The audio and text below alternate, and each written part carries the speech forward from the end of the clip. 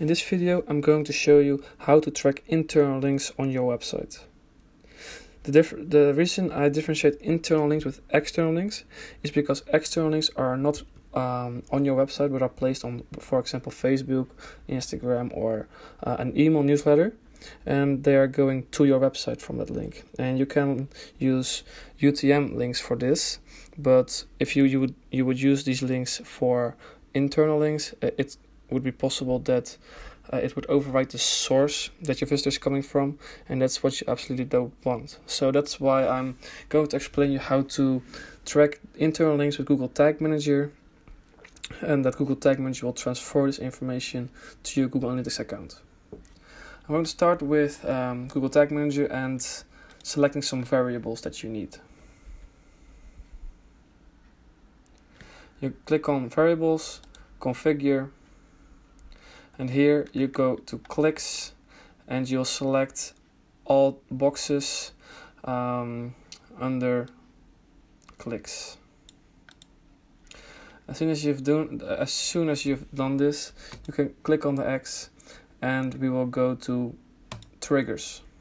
We make a new trigger and we're going to configure it with just links. We're going to check both of the boxes and the website will wait 2000 milliseconds before it will go through uh, to another page. So, because of this reason, you don't want this trigger to work on every single web page. Imagine you want to track um, a link in your menu. You have to um, you have to um, activate this trigger on every single web page on your website. But if you don't need this trigger working on every single web page on your website, you should put right here page URL and go to the web page that you want to that you want to um, track with links and you can fill this in over here. Well, this is done correctly all and now you have the last option and that's between all link clicks or some link clicks. So are you going to trigger this uh, trigger? Are you going to fire this trigger with all click on links or only some of them? So eventually we'll go to some of them and then you have to fill in this line. But we will start with all of them so you can see what happens and which variables uh, will come through. Now we're giving this trigger a name and it's till now all links and we're going to save it.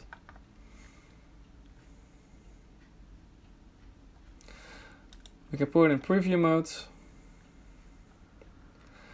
and right now our website should be in preview mode as well. Now I will show you that my Google Analytics tracking code is already fired because it's fired on every page but there should be a trigger that fires as soon as I click on a link. I will do that with control on my keyboard because otherwise um, my website will go to another page and that's not what I want. So control and the link will open up into another page. So that's what happens and here you see that there is a link click registered uh, on Google Tag Manager. And if I click on another link it will again register it in the summary.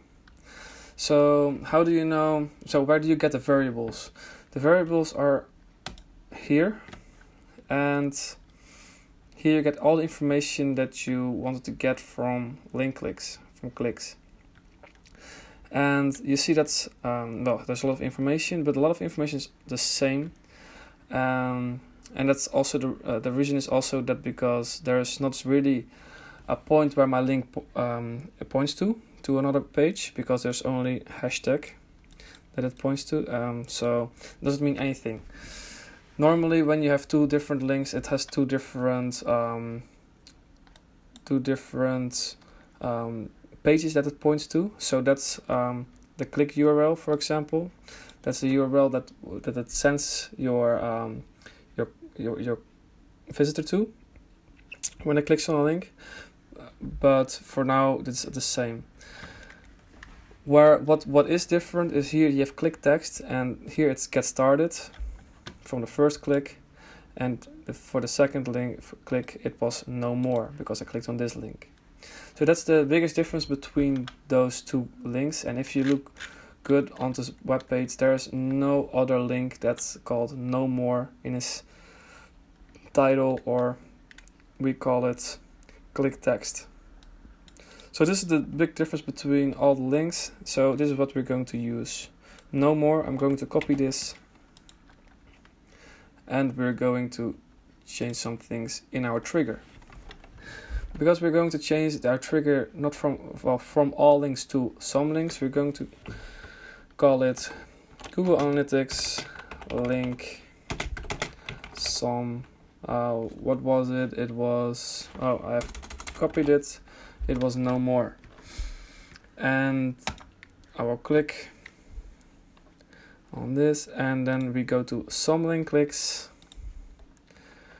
We'll take click text if I'm right yes click text with the input that equals to no more so now we did everything for our link correctly the name is correct and we can make a tag. First you have to make a trigger and afterwards you can make a tag. As you see I already have a tag with a tracking code from a Google Analytics account but we want to make a new one and we're going to make that one with our Universal Analytics. We want it on event Oh, that's my fault. Event and category is links. Action is click. And label is no more. The non-interaction hit is false, that's correct. And here you want to um, put your Google Analytics account. I probably have already done this, but if you didn't, I will show you how to do that. You make a new variable, Analytics settings, tracking ID, and here you put your tracking ID. You can get to your tracking ID to go to admin, property settings, and here you find your Universal Analytics tracking ID. You copy this you paste it in here and you save it with the name tracking ID Google Analytics. Uh, I already done this, so I just select it. Uh, both are the same. And here you select your trigger that we just made. And you can give it a name.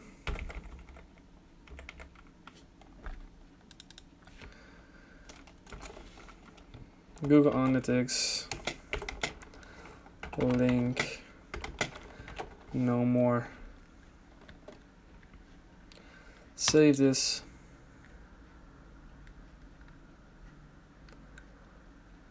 and it's done. We can refresh our preview mode as you see left uh, in the corner. It already saved. So we can go to our website again. It will reload our bar on the bottom. And now you find the text that not fired on this page are this one the link no more. It's the one we just made and we hope it will fire as soon as we clicked on a link I will show you that when we click on get started that it will register a link click but it will not fire this tag this link click has the variables variable with click text get started and not no more. So that's the problem here. Um, but if you click on no more, you see that it fired our um, our code. I will go back to summary. Um, you see that it uh, fired our tag, no more, and now the tag will transfer the information to our Google Analytics account. So, the last thing we have to do is leave preview mode.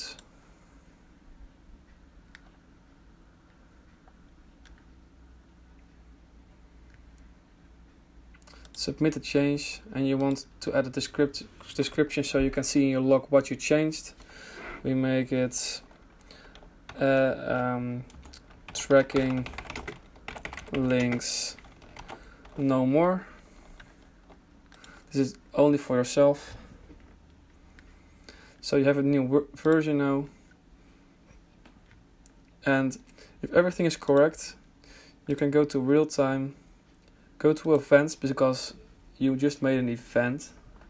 And you see that right now, well, because we were busy with it, you see that there is somebody who clicked on the link um, that we just made.